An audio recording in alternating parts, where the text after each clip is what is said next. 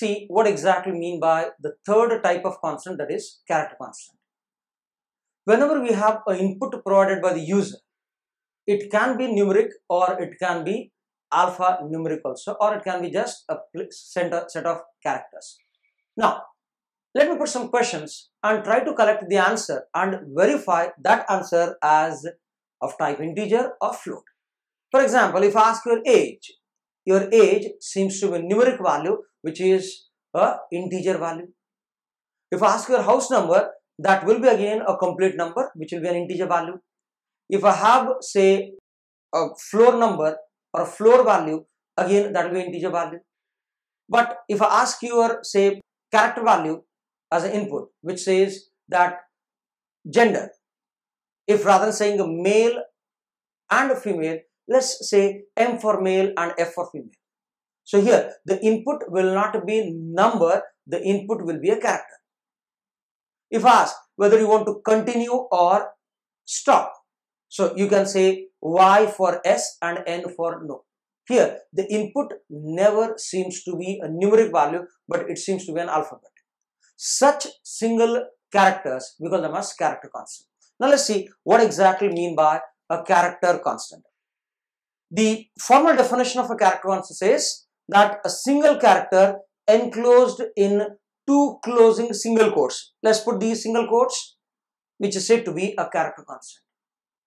Whenever we want to put the input as a character format, rule says that it should be one single character and it should be always in a quotes. For example, if I write A, yes, very much valid constant, but C will never identify this as a character constant until unless I enclose it within two closing single quotes. If I have a lowercase alphabet say A, yes, this is also valid constant. And moreover, we don't have anything called as opening quote on the keyboard. We have only one character as a closing quote in this in the, on the keyboard. Not as that, there has to be only an alphabet. You can even have a special character. For example, I can have plus. I can have asterisk. So whenever we have a single character, whether it's an alphabet or a special character enclosed within quotes, we call that as a character constant. Now, how much space does a character constant occupy? The character constant will occupy one byte of memory, which means that will take 8 bits of memory. In this, if I write 1, you will identify this as a integer constant. Whereas, if I quote this within single quotes, we call this as a character 1. So question comes, how exactly the numbers are stored in the memory? How exactly the alphabets are stored in the memory? Suppose if I have a binary value, say 5. Now this will be stored as set of ones and zeros as 101. Now 5 is an integer constant which means that it has to be 16 bit but I have only 3 bits. So hence what I'll do is I'll add up another additional zeros which are 13 in quantity and then I'll write this number. Now this is the actual representation of 5 in memory. The binary representation of 5 goes, this is the binary and this is the C representation of 5 as 2 bytes. But when I write A, how exactly this number is converted? We can't convert a character directly to binary. For that, what we need to remember is we need to remember the ASCII values associated with these numbers. The ASCII value says capital A as 65, ASCII, which stands for American Standard Code for Information Interchange. Let me revise it. American Standard Code for Information Interchange. These people they have provided values for every number.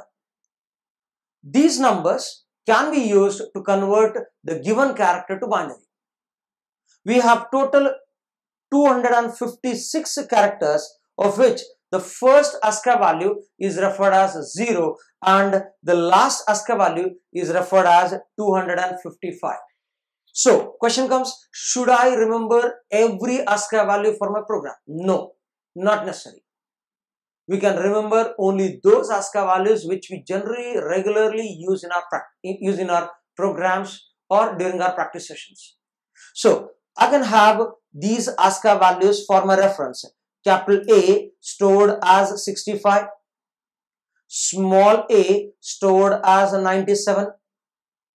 I can have again a digit called as 0 stored as 48, a digit 1 stored as 49.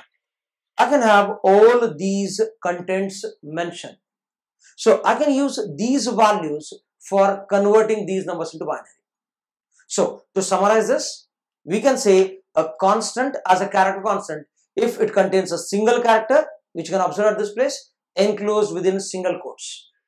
We can have alphabets, we can have digits, we can have special characters. The next question which we raised was how these constants are stored in memory. Now, the rule says that the constant should be always stored in binary format. When I say binary, it will be in terms of ones and zeros itself. So, we have converted this phi to integer number as 101, but the actual representation goes as 16 bits. The numbers which we use for alphabets, we call them as ASCII codes or ASCII values. There are total 256 ASCII values. The first ASCII value starts with 0 and the 256th ASCII value ends with 255 value. Every number which we say is going to associated with a value. Now, there are some exception characters which might be said as character constants, but they have multiple characters. Let's look at those characters as escape sequences or backslash sequences. There are some special sequences. For example, suppose if I write character as AB, this is invalid because it contains multiple characters. If I write something called as a slash followed by n within quotes, even though I have two characters, but still it will be called as a valid character constant. So, there are some special sequences which starts with a backslash character and has got multiple characters, but still they will be represented as single quotes. We call them as escape sequences or backslash sequences what these escape sequences are meant for. Basically, the escape sequences are meant for printing some non-printable characters or to perform some special task. The slash in C language is said to be a new line character. We have slash a as a bell or a beep which is associated. We have slash t which is again quoted in single quotes. because this as a horizontal tab. We have slash v as vertical tab. We have slash 0 as a null character. Now, these sequences which have listed out, they might contain multiple characters, but still they'll be called as valid character constant because they are going to represent a task associated. For example, slash n gets you the control on the next line. Slash a gives you a small bell or a beep. Slash t takes the control horizontally by multiple spaces. Slash v takes the control vertically by multiple spaces. Slash 0 is said to a null character which is used with arrays. Do we have escape sequences? Yes, we have some more escape sequences. We'll learn about those escape sequences in the next session. Yes, we do have some more escape sequences. Now, the first set of escape sequences which we have said are for performing a task. I've listed slash n, slash a, slash t, slash b, slash 0. There are some more escape sequences which are used to print some non-printable characters. For example, we have slash slash.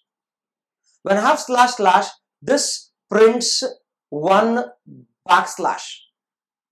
When I have slash double quotes, we call this to print a double quote. We have slash single quote to print a single quote. So there are some non-printable characters in C language which can be printed using these escape sequences. Now let's look at the examples where these escape sequences will be used. If I had to go ahead for displaying some values, suppose if I ask you to display the output in C language as A B C. To do this task, what I'll do is I'll use a instruction called as printf. And within this printf, I'm supposed to put a double quote and what need to appear on the screen will be said in this double quotes. I wish to print ABC on the screen, hence I'll put a double quotes as ABC and then I'll say a semicolon. So the output which is produced by this instruction is ABC. Basically, how a printf works. A printf works by printing all the characters as it is from the first double quote till the last double quote. Now these double quotes are always closing double quotes. Now when you type them onto your system, you'll find two straight lines, but you have supposed to read them as double quotes itself. Now, what if, if I had to print, say, A, double quotes, B, and then C? If I write a printf of this sort, we know that to print this output, we need to use printf. But at first double quotes. After that, I'll print A and then I wish to say a double quote and then I wish to say B and then I have to print C and then a double quote for the end of this printf. Now if I try this, this will be an error. Why? Why this will be an error? Let's list out this. Suppose if I use double quotes at this place, this is said to be the beginning of printf. The very next double quotes which appear at this place is said to be the end of this particular printf. So it presumes this has begin and this has end. So the next all will be discarded. And we know that in a printf, after double quotes, you are not supposed to place one more double quotes. There has to be only one set of double quotes. Now, I have to make this printf to say that this double quote should be treated as the begin of printf the next double quote is not to begin, but it has to be printed on the screen and this has to be treated as the end of this particular printf. To say this as a double quote which is supposed to be printed, what I'll do is I'll use a slash at this place. Now let's check how this will produce the output which I've described. So we know that a double quote till the next double quote, your printf will print as it is. So first it prints a double quote then it finds A, hence A is generated on the screen. Then it finds a slash, which means that it is not supposed to print slash, but take the next character and try to accumulate a meaning for this particular double quotes. So says slash double quotes prints one double quote. So slash double quote is now combined and a meaning is traced out as to print a double quote, hence double quote is printed. Then it prints B on the screen then it prints C on the screen and the last double quote is now identified as end of this. Now, let's look at one more example. Suppose if I ask you to generate output as A followed by B on the next line followed by C on the next line and then put multiple spaces and then print D on the same line but separated by multiple spaces. Let's try to generate this particular output with only one printf. Remember, it is supposed to be only one printf, not multiple printf. Let me write printf because this is how we display the values. So I have to print A. Let's print A. Now I have to get a cursor on the next line. If I write one more printf, still the output appears on the same line. I have to get the control onto the next line using the same printf. For that, what I'll do is I'll use slash n. When I say slash and n, this slash, I know that it is not printed, but instead of that, it takes to the next character and tries to trace a meaning for slash n. What is the meaning for slash n? Get the cursor on the next line. So instead of printing slash n, the cursor rolls to next line. Once the cursor rolls to next line, print B. Yes, print B. After that, again the cursor need to be rolled down. So what need to be used? Got right that it has to be slash n. So slash n will again get the control on the next line. And after that, print C. Yes, print C. But now I'm supposed to get the cursor horizontally by multiple spaces. If I have to move on to the horizontal spaces, in that case, I'll say slash T and then followed by D. How many printf I used? I've used only one printf. You guessed it right. I'd used only one printf, but I have made the output appear on three lines. Now, this is all because I'd used escape sequences. Now, let's analyze these escape sequences one by one, one more time. So, slash n gets the cursor on the next line. After B, again a slash n gets the cursor next line.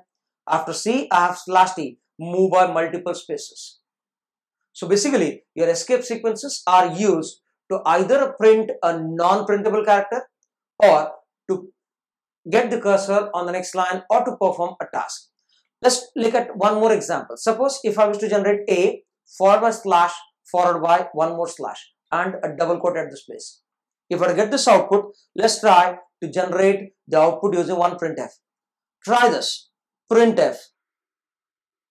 What need to be printed first? A. Yes. Let's say A at this place. After that, I'm supposed to print a forward slash. As per the rules of C language, a forward slash is said to be a printable character. Use a forward slash. Then I'm supposed to get a backslash. You got it right. Double slash is supposed to be used because backslash cannot be printed. So hence use double slash. A double slash will get one slash and then I'm supposed to put a double quote. Now, is this double quote to be printed or to be said as end? Yes, it has to be printed. Hence, I'll say slash double quotes. And there has to be one more double quote which is supposed to be said as end of this particular printf instruction. So, a double quote says begin a says A printed, slash says slash printed, double slash says one slash printed, a slash double quotes prints a double quote. We got the output not using multiple printf but using a single printf. This is the practical use of your escape sequences which are used to either perform a task or print some non-printable characters. Thank you.